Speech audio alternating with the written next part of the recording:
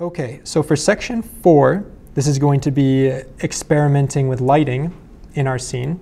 So the first thing that I want to do is I want this to be a really dark scene to get some more intense shadows. So what you can do is click here on this tab right here, which is the world.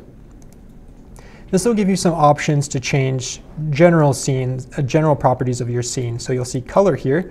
It's hard to see because it's the same as the box, but if you click on that, you can change that color to either very light or very dark. So I'm going to make it as dark as possible, pure black. And then you'll see that now we have some um, really intense shadows going on.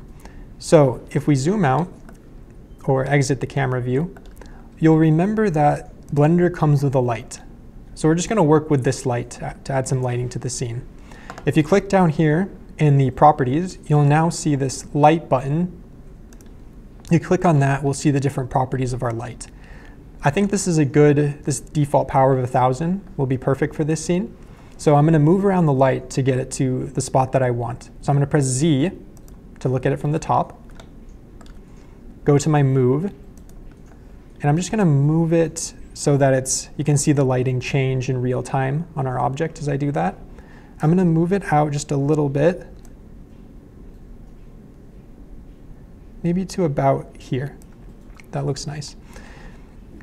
Now you can change the type of light that this is. You can make it a sun, which is just going to add a lot of light. It's going to blow out the scene. So if you wanted to add a sun, this should be closer to maybe one, but let's keep it at a thousand. You can make this a spotlight. This is good for just focusing on one single element, highlighting a protein on top of a larger complex possibly, but I'm gonna choose area. Now this is just uh, as if you had a perfectly flat square light that you would shine around. And so if we look at where this is from the z-axis, you'll see that it sends out rays in a specific direction. So right now the rays are heading behind our object. So what you can do is you can press rotate and we can make it so the rays are more in front. I'll move it out a little bit. Again, you can see the shadows moving. And then I'm going to do rotate from this direction.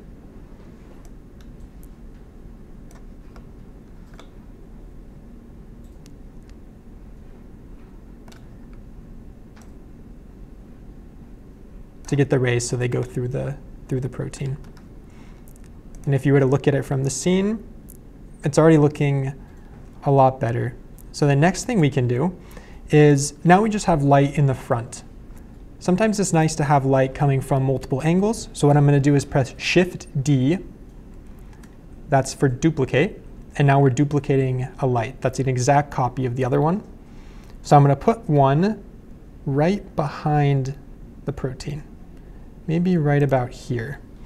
And I'm going to rotate it so that it's shining at the back of the protein. And I want it to be kind of on the same plane, on the same plane as the protein so that the light shines through it, kind of making it glow. So I'm rotating just to get the angle pointed through. And then if you zoom in, this is kind of what we have so far. And you can move this just a tad.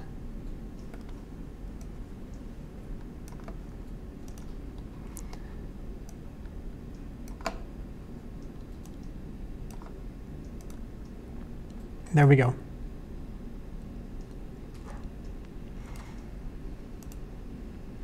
Okay, so that ends the exper experimenting with lighting section.